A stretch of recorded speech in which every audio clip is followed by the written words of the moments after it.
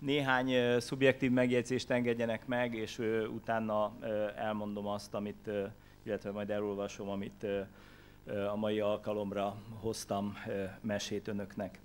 Az egyik rövid reflexióm az, az Borókai Gáborhoz szól, aki azt mondta, hogy a rendszerváltás éveiben, 88-89-ben milyen bátor újságírók voltak. Emlékezetem szerint akkoriban sikerült bemutatni például a megalakuló jelentkező fiatal pártok programját és azok jeles képviselőit, de egy másik szöveg összefüggésben a Gábor már azt mondta, hogy ezek az emberek pártállami kövületté váltak 1990-től, tehát ez egy elég érdekes megközelítés hogyha a közszolgálatról beszélünk, és a Misi, amikor engem egy hete fölhívott, hogy lesz ez a konferencia, és nagyjából 20 évet lehetne áttekinteni, akkor rávágtam, hogy ez nagyon, nagyon jó, mert az elmúlt egy évben módon volt arra, hogy média hatalom címmel egy összeállítást készítsek 300 oldalon, és nagyjából a 80-as évek közepétől a tavaly nyári eseményekig kormányonként megvizsgáltam, hogy a médiának és a hatalomnak éppen milyen is volt a viszonya. Azt kell mondjam, hogy elég kiábrándító a kép, és ebben azt is lehet mondani, hogy az egyik 19, a másik egy hiány 20 hogyha arról beszélünk, hogy közszolgálat és lehet-e valódi közszolgálat, akkor egyetlen szám párhuzamba állításával szeretném ezt érzékeltetni önökkel. Lehet-e valódi műhelymunkát, politika mentes, vagy politikától relatíve független szakmai tevékenységet folytatni abban a közszolgálati híradóban, amelyben az elmúlt 20 év alatt 16 híradó főszerkesztőt számoltam meg. Nyilván nem szakmai okokból fáradtak meg nagyjából 15 hónaponként ezek a főszerkesztők, valami más is lehet a háttérben, talán esetleg maga a politika. A másik, amivel kapcsolatban szarkasztikus megjegyzéseket tett a Gábor, ez a nézettség kérdése. Én azt szeretném mondani, hogy a futballmeccseken is beszokták mondani, hogy mennyi néző van. A nézettség mérést nem kell túl misztifikálni. A nézettségmérés a maga szempontjából a kereskedelmi média számára fontos, létkérdés, a közszolgálat számára pedig iránymutató. És valóban én is egyetértek azzal, és magam is megnéztem Spiró csirkefejét annak idején, amikor a televízió adta az előadást, és nagyon örültem neki, akkor még a kereskedelmi médiában dolgoztam, és másnap megnéztem, hogy mennyien nézték meg. Egy százalék, ugyanből tudjuk, hogy két százalék a hibahatár, de ez azt jelenti mégiscsak, hogy nagyjából 80 ezer ember ezt az előadást megnézte, és én ezért boldog voltam, én erre büszke voltam. De arra már nem vagyok olyan büszke, hogy a közszolgálati híradót nem nézik meg, ami azért mégiscsak a tájékoztatás legfontosabb formája kellene, hogy legyen, és hogy miért nem nézik meg, annak nyilván oka van. Megnéztem ebben az elmúlt éves tevékenységben, de most ezzel a táblázattal nem terhelem önöket, hogy 1996 tól 97-től hogyan alakult a közszolgálati televízió nézettsége negyedéves bontásban, és hogyan a kereskedelmié. 97-ben még a televízió aktuális elnöke azt mondta, hogy a kereskedelmi televíziók indulásával az ő becslése szerint nagyjából 35% lesz a mélypontja a közszolgálatnak, és ennél lejjebb nem fog menni. Hát ennél lejjebb ment már egy fél éven belül, és hiszik, nem hiszik, vagy talán tudják, vagy nem tudják, tavaly év decemberében már alulról söprögeti a 10%-ot a közszolgálati televízió átlag nézettsége. Vagyis a közszolgálati televízió nézettsége folyamatosan hát zuhan, csökken, nem úgy, mint az intézmények presztízse, amiről az Ávec Tibi beszélt, hogy egy darabig mélyen zuhant, utána azóta nagyjából stagnál, hanem folyamatosan csökken. Azt is el tudom egyébként mondani, hogy kiugró pillanatai a közszolgálatnak, amire egyébként lehetne talán jövőt vagy programot is építeni, akkor vannak azokban a negyedévekben, amikor választások vannak, tehát azokban az időkben a közszolgálati csatornák nézettsége szignifikánsan megnő, illetve általában az azt követő negyedév nézettsége még magas, ha ők közvetítik a labdarúgó világbajnokságot vagy Európa bajnokságot. Amikor nem ők közvetítették, akkor nem.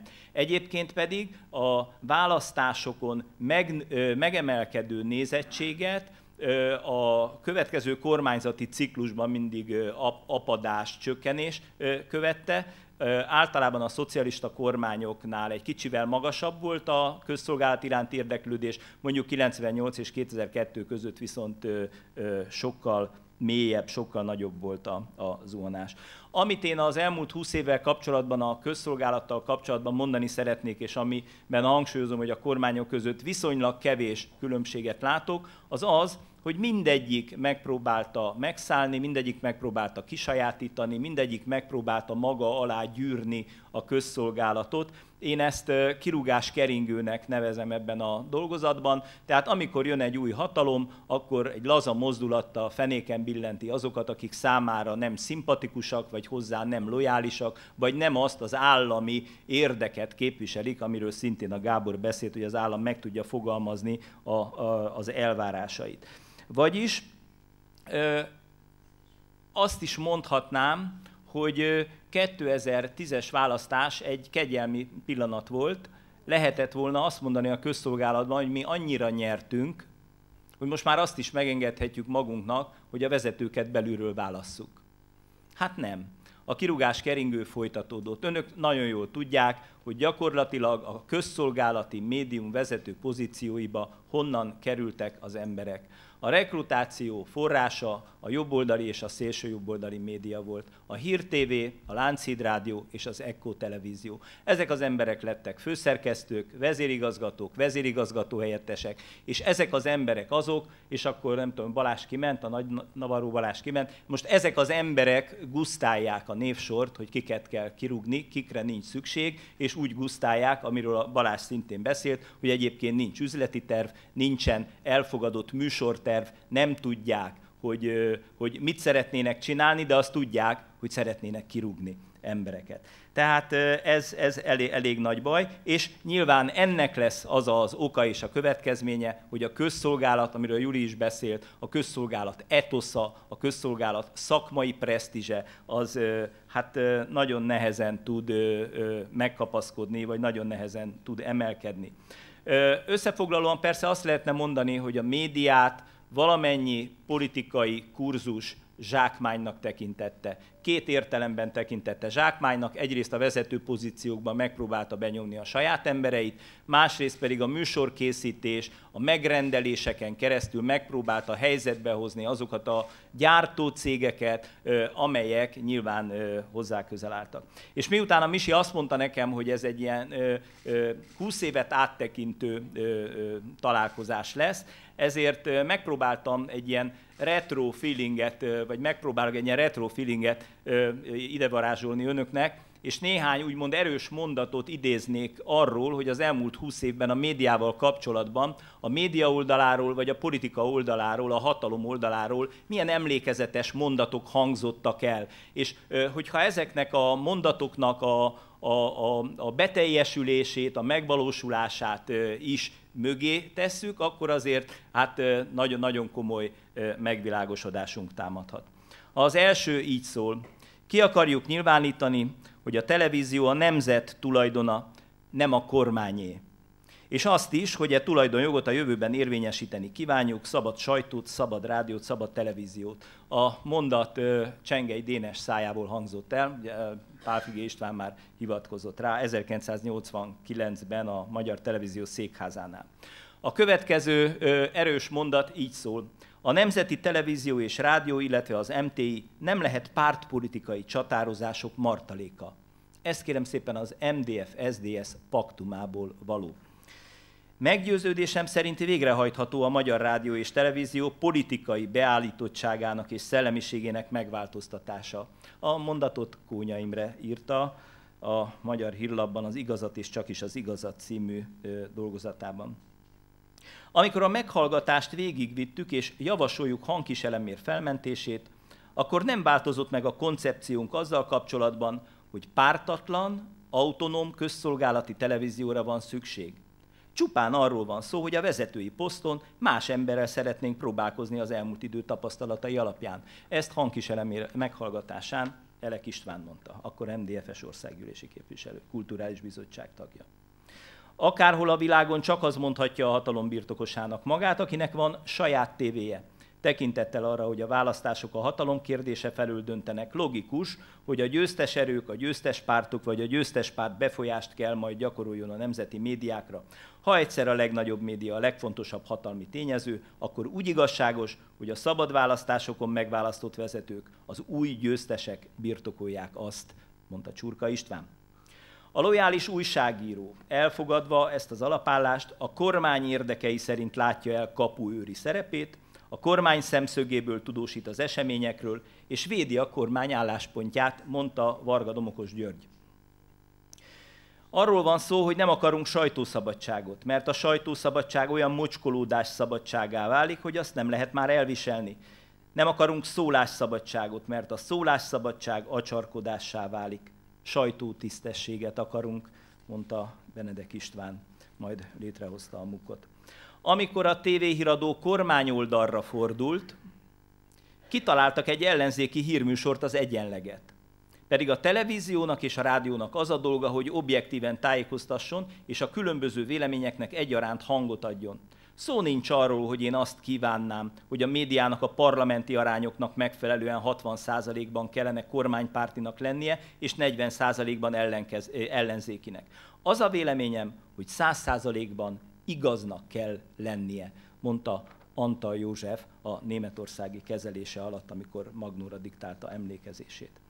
A magyar rádióban és a magyar televízióban haladéktalanul rendet kell csinálni, el kell távolítani, ha kell, rendőri erővel a törvényellenesen kinevezett intendásokat és lepjüket, és ha a köztársasági elnök úr továbbra is ellenáll, ha a törvénytelenség útját járja, akkor bármilyen adminisztratív intézkedés, bármilyen erő igénybevétele meg van engedve, mert törvénytelenségben egyik fél sem ér fel az ismételt aláírás megtagadásokkal, ez a Csurka István néhány dolgozatából vett idézet. Nem sokkal azután, hogy Pálfi István, a Krónika rovat vezetője értesült a kinevezésről, megfogalmazta lemondását. Elmondta, korábban tiltakozott Babicki Klára alkalmazása ellen. Véleménye szerint az, hogy valaki a Magyar Fórum rendszeres szerzője, a Magyar Útkörök rendezvényeinek gyakori közreműködő, közreműködője, nem fér össze az objektív és pártatlan tájékoztatás követelményeivel. Pálfi nem hiszi, hogy ilyen erős ideológiai elkötelezettséget egy rádiós a közszolgálati rádió falain kívül tud hagyni. Dajcs Tamás így fogalmazott. A Magyar Rádióban politikai tisztogatás volt, még akkor is, ha mindenki mást mond. A történtek újra csak a szekértábor politika következményei, és most az egyik éppen hatalmi pozícióban lévő szekértábor akarja kiseprűzni a másik szekértáborhoz tartozónak vélt újságírókat a tömegtájékoztatásból, azokat az újságírókat, akik közül sokaknak az az egyetlen bűnük, hogy az objektív és pártatlan újságírás elveihez és gyakorlatához ragaszkodtak. Ez egy parlamenti felszólalás volt. A szerkesztők az intézményen belülről, kívülről senkitől sem kaphatnak és fogadhatnak el utasítást, beleértve a pártokat is, ez pedig a Magyar Televízió közműsor szolgáltatási szabályzatának egy mondata. A kormány alapvetőnek tartja a média függetlenségének megőrzését, és intézkedéseivel a kommunikációs jogok kiegyensúlyozott rendszerének megteremtésére törekszik. A kormány lépései arra irányulnak, hogy a sajtó politikától és gazdasági érdekcsoportoktól való függetlenségét garantálja, és ezáltal megakadályozza, hogy az állampolgárok hiteles tájékoztatásához való joga veszélybe kerüljön. Ez a Fidesz kormány programjából való 1998-ból. Olyan törvényre van szükség, amely két egyenrangú csatornára osztja a magyar televíziót. Már nem elég, hogy csak egy szocialista legyen. Szükség van egy polgári és nemzeti értékeken állóra is. Ha ezt a törvényjavaslatot az országgyűlésben nem fogadják el, akkor egy tavaszig megszervezhető és megszervezendő népszavazással jussunk hozzá ahhoz, ami a polgári és nemzeti gondolkodású milliókat megilleti, mondta Orbán Viktor. Az utolsó ilyen ö, idézet. Bajer Zsolt esetében nyomás érvényesült azért, hogy a Duna TV-hez kerüljön, és még nagyobb, hogy eltávozzon onnan. Kelet-Közép-Európában egyelőre illúzió teljes politikai függetlenségre gondolni a közszolgálati televíziózás kérdéskörében. Ez lehetne talán ö, zárszó is, de arra gondoltam, hogy egy svéd gyerekverssel fejezem be, hogy milyennek látom a mai televíziózást. Ez pedig úgy szól, hogy bélyeget gyűjtöttem, apa egyszer hozott egy kilót, azóta nem gyűjtök bélyeget. Hát kívánom, hogy még tudjunk sokáig bélyeget gyűjteni. Köszönöm, hogy meghallgattak.